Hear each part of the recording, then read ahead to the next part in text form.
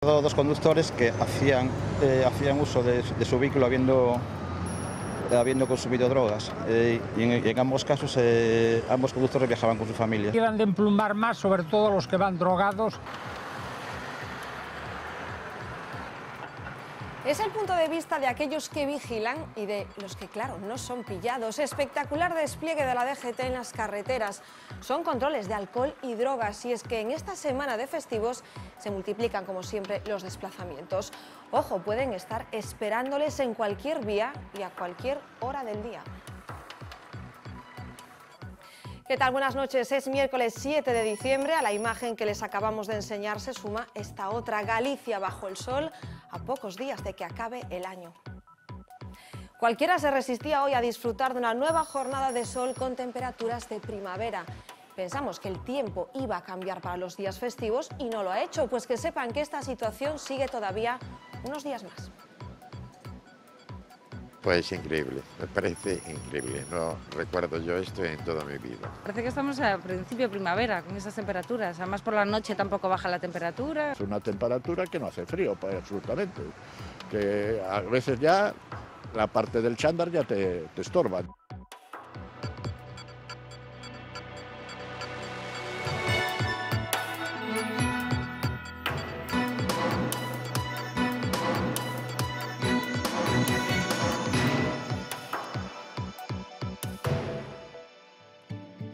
Los atropellos son una de las principales causas de fallecimiento en carretera en Galicia.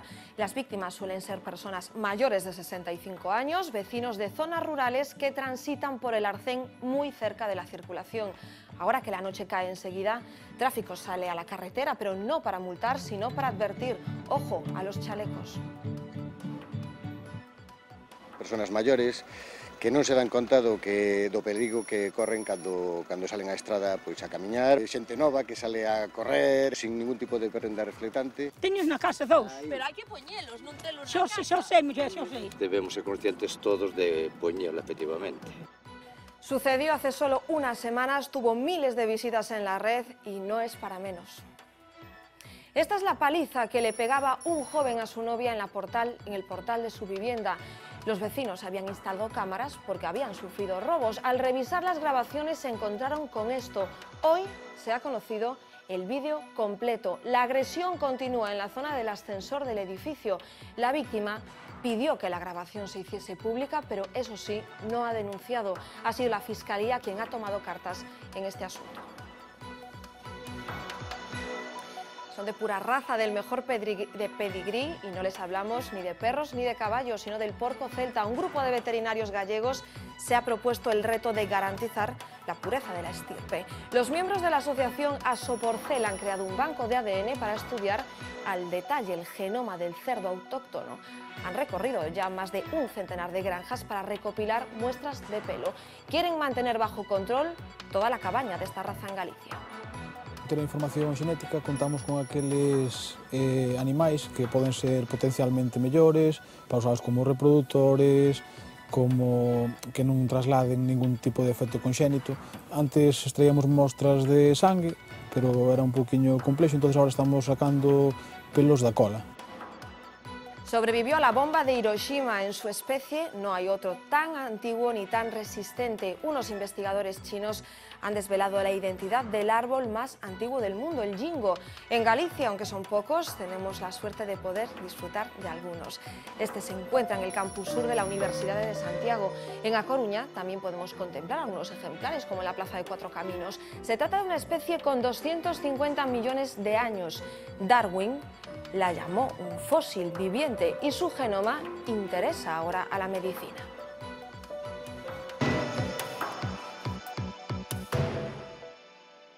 Si salen a la carretera en las próximas horas es posible que se encuentren escenas como esta. Son controles de alcohol y drogas desplegados por toda la red viaria con motivo del Puente de la Constitución y la Inmaculada. Intentan atajar dos de los problemas fundamentales a la hora de hablar de víctimas mortales en carretera. Solo durante el fin de semana, 192 conductores dieron positivo, 56 en drogas, el resto 136 en alcoholemia. Los controles están en todo tipo de carreteras y a cualquier hora del día. Se ha detectado 192 positivos en, en drogas y alcohol. De esos 192, 46 lo harán en drogas. El positivo en drogas se está repuntando últimamente y se están dedicando cada vez más medios a detectar este tipo de positivos. Detectado dos conductores que hacían, eh, hacían uso de, de, su vehículo habiendo, habiendo consumido drogas eh, y, en, y, en, ambos casos eh, ambos conductores viajaban con su familia. Que son insuficientes porque hay mucha gente que en todas las fechas del año bebe demasiado alcohol, demasiadas drogas y pagamos las consecuencias los que, en, los que vamos en carretera. Debiera de haber más. Debieran de emplumar más, sobre todo los que van drogados y que, bueno, que tome una copa, pues eh, no influye, pero el que toma ya media docena. Accidente en la Nacional Sexta en Lugo con dos personas heridas de gravedad. Alrededor de las 3 de esta tarde se producía una grave colisión en el kilómetro 502. Los implicados, un Ford y un Mini, que sufrieron un choque frontolateral. Cada uno salió despedido hacia un lado de la cuneta. Estamos acercándonos a la época del año con menos horas de luz y eso en carretera multiplica el peligro, especialmente para los peatones en zonas rurales sin iluminación. Caminar sin un chaleco reflectante nos puede costar mucho más que un susto. La Guardia Civil está fomentando cada vez más el uso de este elemento de seguridad y nosotros hemos ido de patrulla con dos agentes al atardecer. Hoy acompañamos a una patrulla de la Guardia Civil de Tráfico inmersa en plena campaña de concienciación sobre el uso del chaleco reflectante para conductores y peatones porque tan importante es ver cómo ser visto. Repartimos chalecos como este, chalecos reflectantes que pueden salvar tu vida.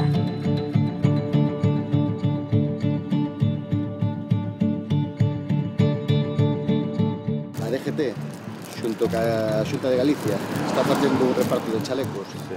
co objetivo de nas horas nocturnas leválo e poder ser visto polos, polos sí, sí, conductores. Sí, Caballero, que lle parece a campaña? Bueno, fabulosa, todo que sea señalización para peatón me parece moi, moi ben todo. Normalmente todos os días suelo andar por esta zona, pola beira do mar, por aquí, en fin, suelo andar sobre 8, 6, depende. Mm. Ademais, eu vexo que é unha cousa que debemos ser conscientes todos de poñela efectivamente.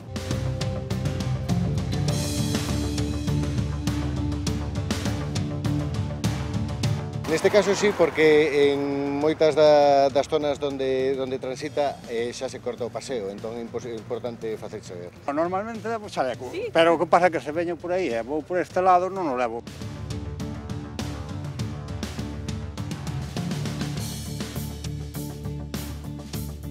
as persoas maiores que van circulando pola carretera en horas nocturnas, ademais vai de negro, non se lleve nada, e podan levar o chaleco sí, e se faigan ver. Teños na casa dous. Pero hai que poñelos, non telos na xo, casa. Xo sei, muller, xo sei. Hola, boas noites. Boas noites.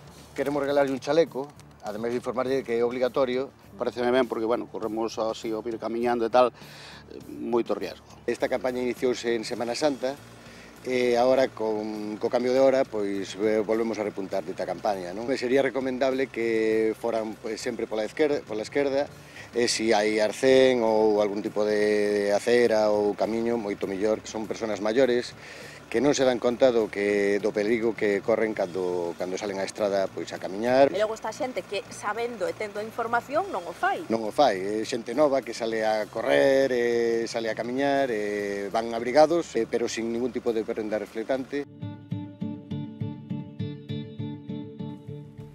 Es uno de los grandes problemas en la carretera en esta época, una de las principales causas de siniestralidad y los números no hacen más que reflejar esta realidad. Son los animales en la carretera. Solo la provincia de Lugo ha registrado en dos días, los pasados lunes y martes, 15 accidentes por la irrupción de jabalíes, caballos y corzos. No hubo que lamentar, eso sí, víctimas, pero sí muchos daños materiales. La mayoría se produjeron por la presencia de jabalíes en las vías de circulación. Muy atentos a la carretera en una semana y un mes crítico en cuanto a desplazamientos, pero en estos días entre festivos miramos también al cielo. Xavi Fonseca, buenas noches. Muy buenas noches, Gladys. Pues lo que está sucediendo, desde luego, no es ni medio normal en esta época del año aquí en Galicia. Ya estamos teniendo un otoño bastante seco y bastante cálido, pero lo que está ocurriendo desde hace algunos días, pues escapa desde luego de lo que es habitual en esta época del año, al menos en nuestra comunidad.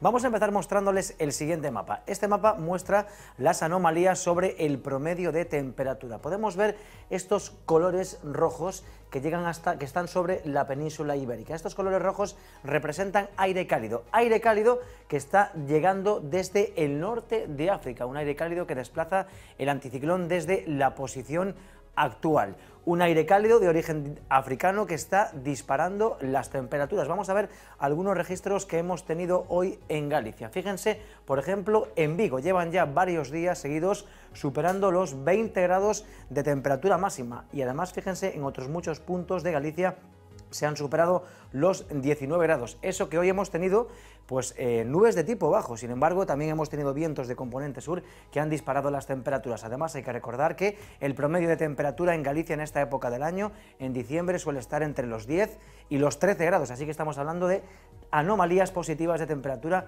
muy importantes. Y claro, con estas temperaturas, en pleno mes de diciembre, mucha gente se va a la playa.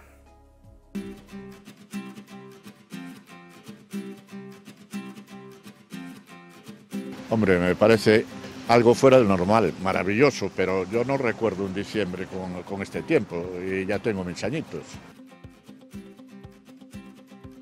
Es una maravilla, no sé si es preocupante por el cambio climático, pero bueno, es mm, fantástico poder dar un paseo aquí en, en diciembre, en pleno diciembre, con estas temperaturas.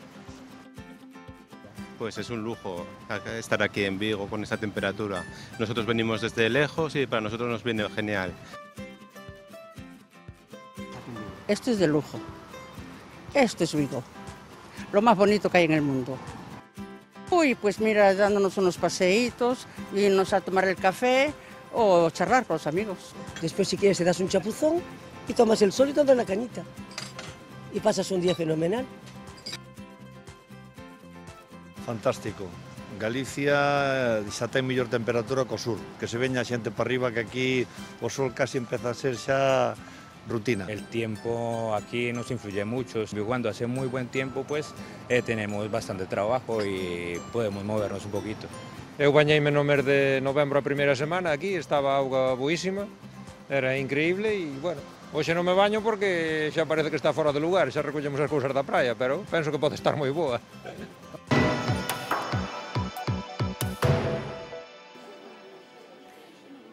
Estoy bien, necesito estar un tiempo fuera de España. Saludos, Diana Kerr.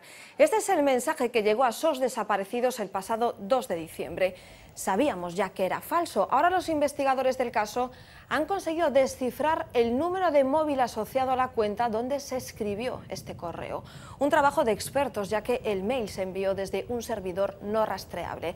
Es decir, que permite el anonimato del remitente. Usurpar la identidad de un desaparecido puede acarrear penas de entre seis meses y tres años de cárcel. Desde esos desaparecidos no creen que se trate de una broma, dada la complejidad del sistema utilizado.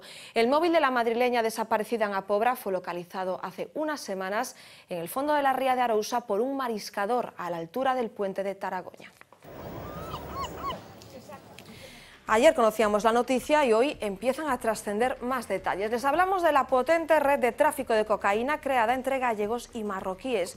Hoy podíamos leer en las páginas de La Voz de Galicia que el arausano Manuel Pardo era uno de los receptores de esa mercancía, una entrega que se frustró por su ingreso en prisión. El pasado mes se ponía en marcha otro envío desde Sudamérica a Galicia, que en este caso impedía la policía.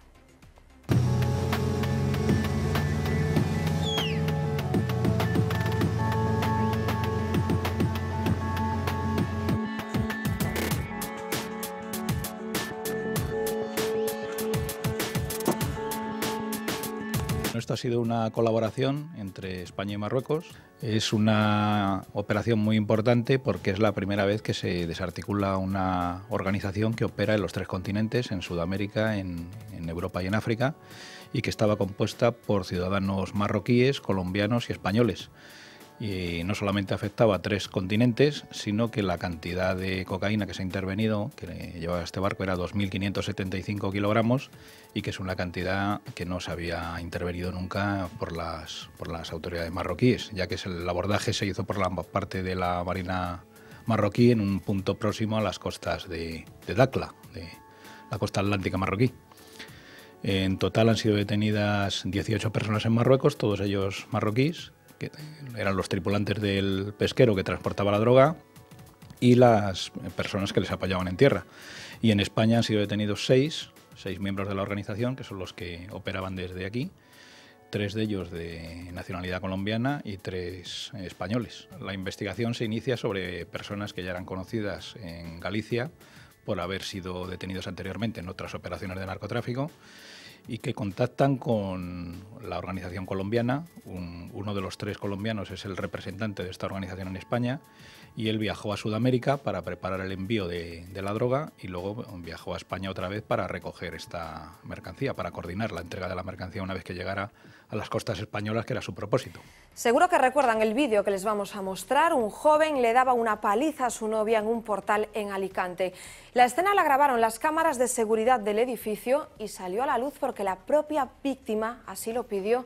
Ahora ya se conoce cómo fue la escena completa. Por cierto, ella no ha denunciado.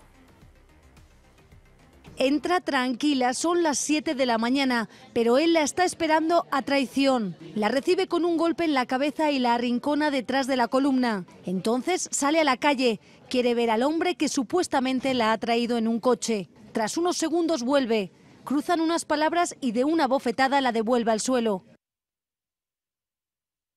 Ella le suplica, pero él le patea el estómago y la inmoviliza.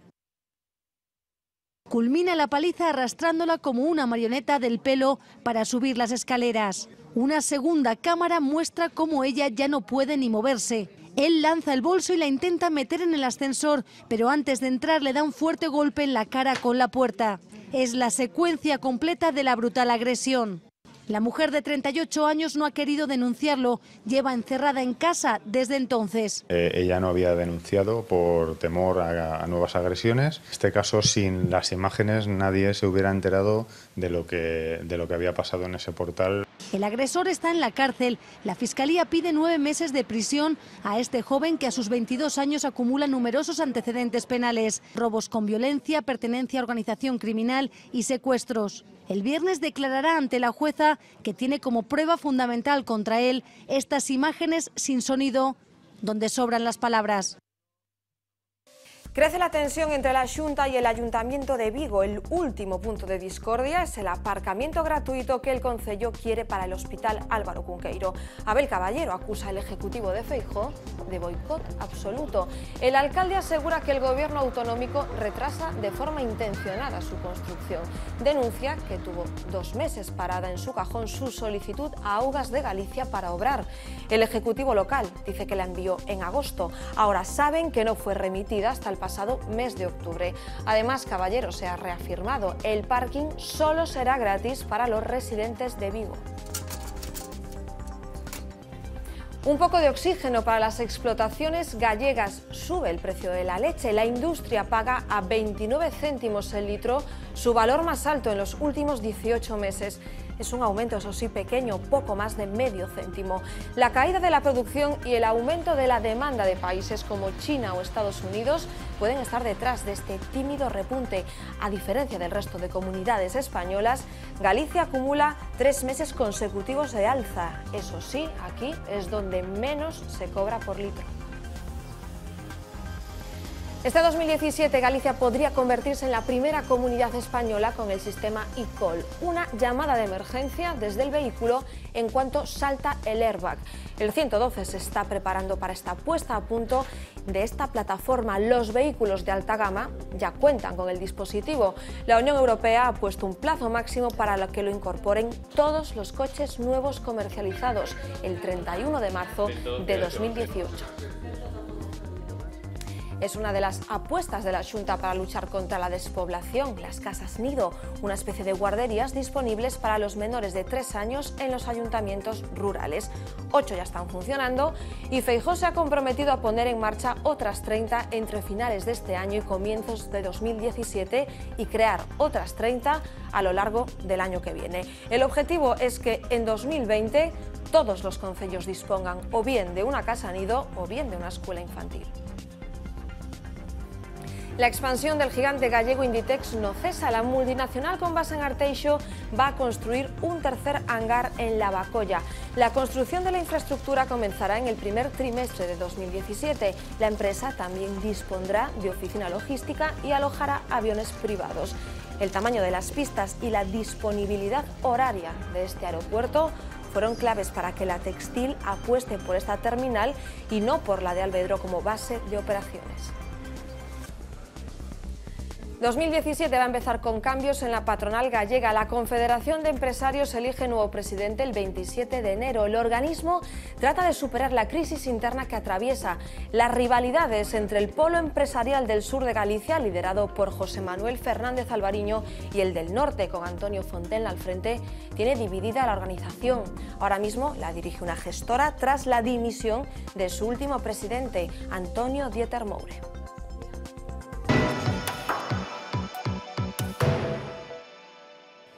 Es una de las noticias del día. Tras el escándalo Ronaldo, otros nombres de futbolistas están en el punto de mira de la Fiscalía. El Ministerio Público ha denunciado ahora a Xavi Alonso, Di María y Carballo por presunto fraude fiscal. También se investiga al lateral madrinista Contrao y al exdelantero atlético Falcao.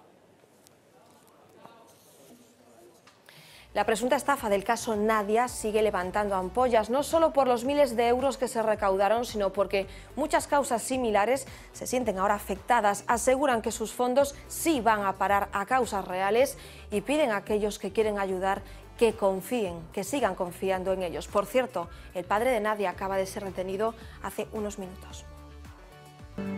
La enfermedad no le borró la sonrisa, pero sí le ganó la batalla con tan solo cinco años. Mi hija le prometí que encontraría la medicina que la curara. Y de esta promesa nació la Fundación Alba Pérez, que a día de hoy sigue recaudando dinero para la investigación contra el cáncer. Todo lo que nos donen eh, nosotros damos parte a Hacienda, céntimo a céntimo y todo desglosado. Hace apenas dos meses entregaron más de 80.000 euros. Está muy regulado a todo el gasto y todo lo que se realiza. La generosidad de muchos padres financia el tratamiento de Pablo. Pusieron el dinero encima de la mesa. Por eso ellos, que ahora se ven casi con la obligación de justificarse, también recaudan fondos. Queremos dejar muy claro que nosotros eh, no queremos el dinero para nosotros, es más, no, no tenemos número de cuenta. Todo va a ir a nena. Es fundamental que se siga creyendo en quienes luchan por sus hijos dejándose la piel. Todo lo que me dé visibilidad y que pueda llegar una luz de ayuda, allí voy a estar. Que se done es imprescindible. Hago locuras por él. Hace falta dinero para investigar. Es de pura raza y gallego. Los protectores del porco celta no quieren que la estirpe de este mamífero se contamine. Por eso, varios veterinarios se han puesto manos a la obra. Ha comenzado a recopilar muestras de ADN en las granjas. Su objetivo es crear un banco genómico con el que estudiar y controlar su reproducción. Hola, Rocío, buenos días. Mira, traigo che as muestras que sacamos de pelo ahora en Villalba sí. para facer o ADN. Vale, perfecto, xa me traes Vale, deixo tamén a ficha de mostras. Vale, venga. Vale, gracias, hasta logo.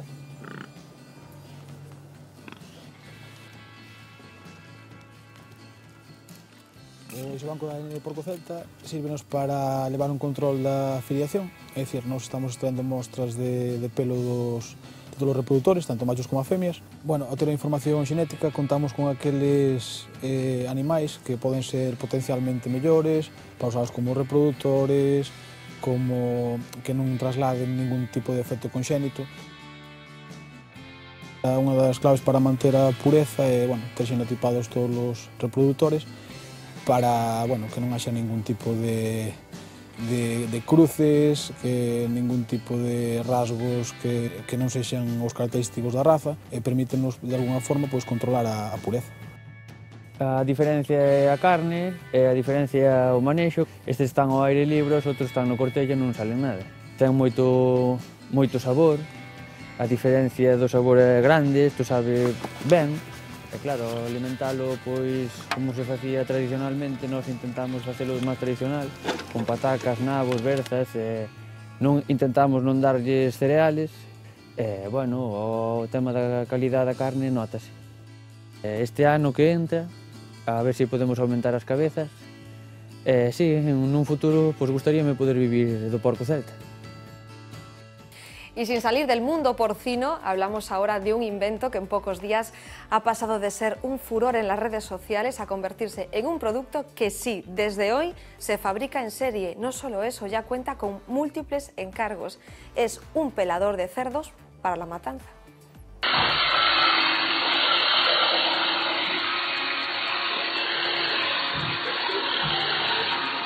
Este pelador consiste en un útil para o taladro para poder agilizar a, a colar os cochos. Ah, tivemos que modificalo tres veces. Ahora, como nas aldeas queda pouca xente, e a pouca que queda é xente maior, pois queda pouco quen axude a, a facer estes traballos. Entonces, por eso, saliu esta idea. No vai comercializar é Ferretería Quiroga de Meira, que chegamos a un acordo. Pois a patente están os, os procesos iniciados, eh, bueno, xa nos deron un número de registro, pois vamos empezar a fabricalos en serie xa hoxe mismo.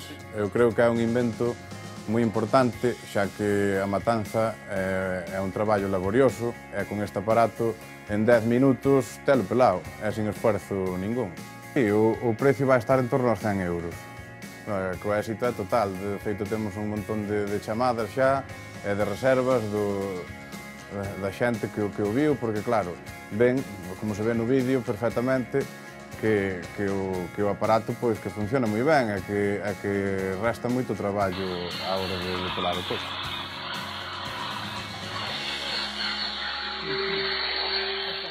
Volvemos con máis que contar solo en unos minutos.